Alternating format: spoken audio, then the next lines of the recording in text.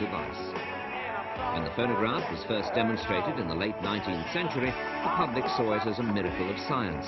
For many, it must have seemed like magic. Its creator, Thomas Alva Edison, was certainly regarded by his fellow Americans as something of a magician. The phonograph made him a legend in his own lifetime. More than anyone else, Edison was the technological brain behind America's transformation from an agrarian to an industrial economy. His eventful life story was well known to his contemporaries. At the age of 15, he'd worked on the railways as a newsboy. In his spare time, he performed chemical experiments in the baggage car. Science had always fascinated him.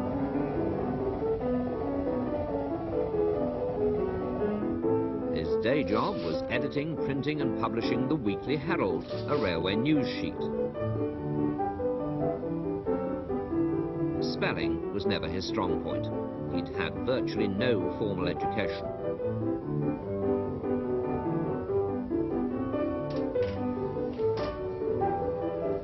The young Edison didn't remain a travelling newspaperman for long. He wanted to be a telegrapher, but it was a few years before this dream was realized.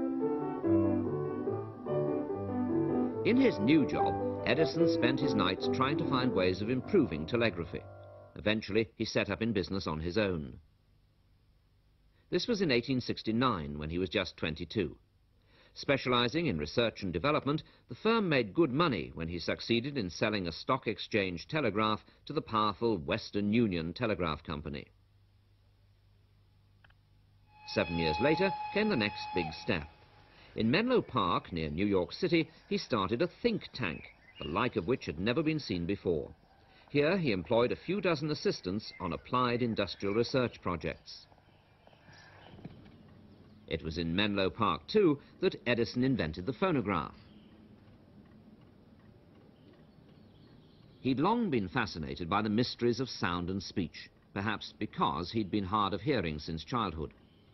For his speech experiments, he used diaphragms like those used in the earliest telephones. He came upon the principle of sound recording by sheer chance.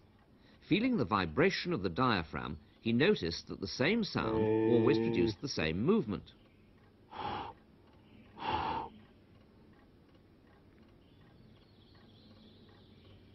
A, A, Edison realized he could record sounds by somehow concentrating these vibrations and registering them on some sort of carrier, for example, a rotating drum.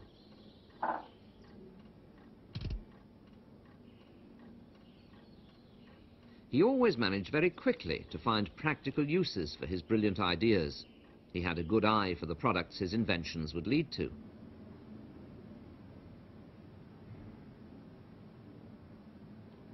To the vibrating diaphragm, he attached a metal needle. His first chosen medium for the recording was soft paraffin wax paper. Mary had a little lamb. Its fleece was white as snow, and everywhere that Mary went, the lamb was sure to go. Mary had a little lamb. Its fleece was white as snow,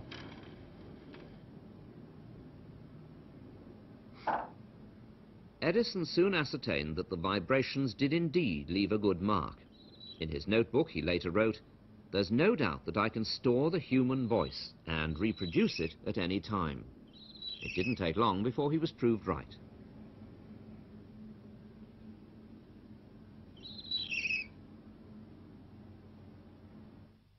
In December 1877, he applied for a patent for his phonograph, the first machine for recording and reproducing sound.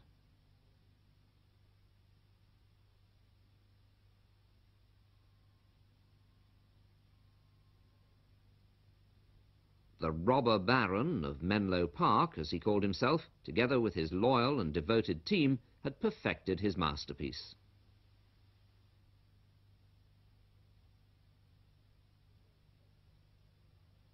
The first phonograph, and Edison himself speaking. Mary had a little lamb, its white as snow, and everywhere that Mary went, the lamb was sure to go. Edison advertised his invention as the shorthand typist's friend. He saw the phonograph above all as a dictaphone for the modern office. The general public didn't take much notice of it at first.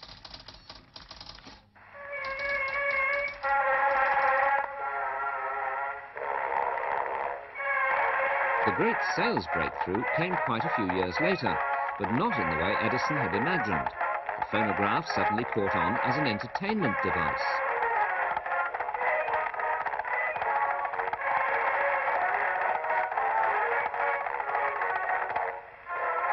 Edison's phonographs went into large-scale production just before the turn of the century.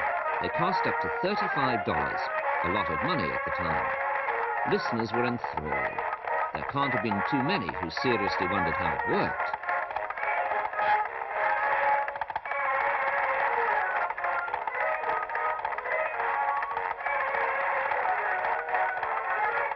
The principle of Edison's original model was extremely simple. A trumpet concentrated the incoming sound waves sufficiently to make the diaphragm at the end vibrate.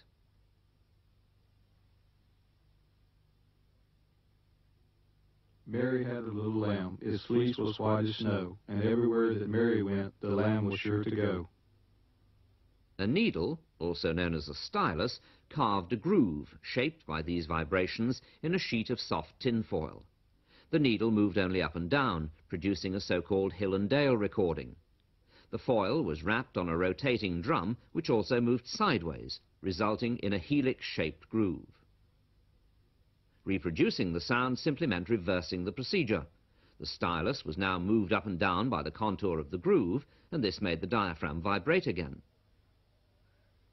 Mary had a little lamb, white as snow, and everywhere that Mary went, the lamb sure go. The trumpet now functioned as a kind of loudspeaker. Edison wouldn't have been true to himself if he hadn't worked to improve his invention. In about 1890, he started using prepared wax for the cylinder surface, replacing this in turn by shellac. As a result, the recording was far more durable. This increased durability opened up whole new markets. Sale of pre-recorded cylinders ushered in the age of home entertainment.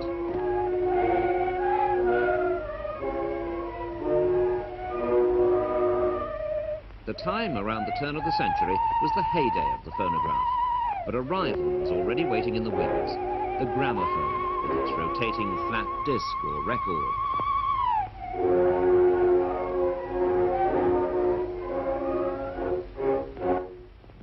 The idea for this came from Emil Berliner, an inventor from Hanover in Germany who'd emigrated to America as a young man.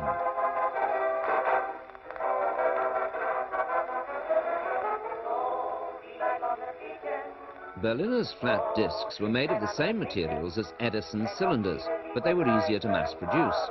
One master disc could be used to cut thousands of copies. In this system, the stylus moved from side to side.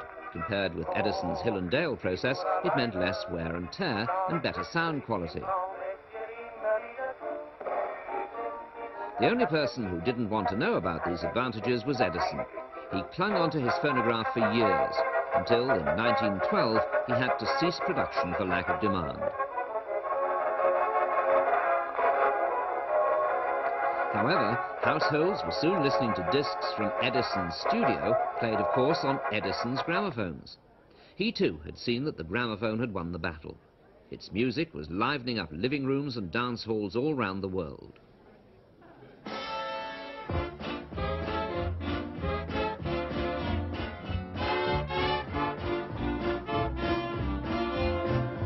Improvements in. The first was the double-sided record. Then, finer grooves and slower playing speeds made the long-playing record possible.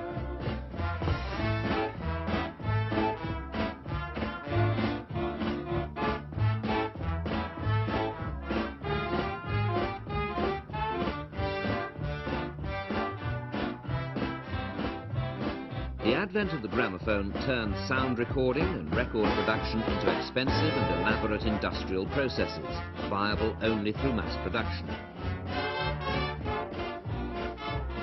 In the early days, the record market was dominated by just a few companies. Affordable records turned singers like Caruso into world stars. Later, radio played its part in boosting the record business still further. Airwaves brought popular numbers to every corner of the globe.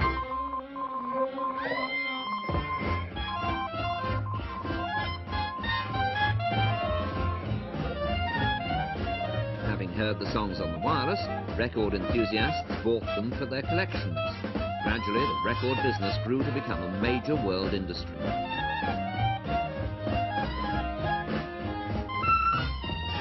There was music in the air, enthralling millions in every walk of life.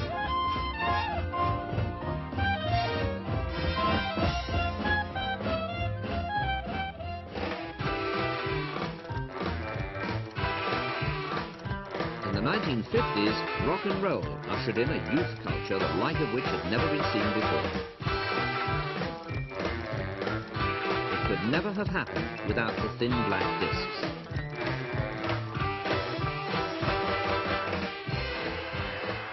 1960s pop groups like the Beatles also owed a debt of gratitude to Edison and Berliner.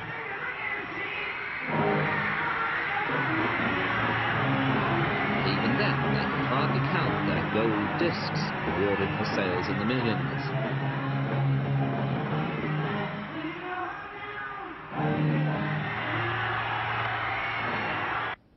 Today's gramophones share the basic principles with their ancestors, but not much else. Thomas Alva Edison had always dreamt of this perfection, in spite of his own deafness. His greatest wish was to reproduce Beethoven's Ninth with perfect fidelity.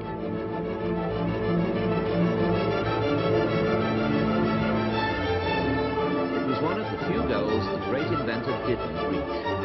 Instead, he came up with hundreds of other successful technical innovations, not the least of which was the incandescent electric lamp, the light bulb.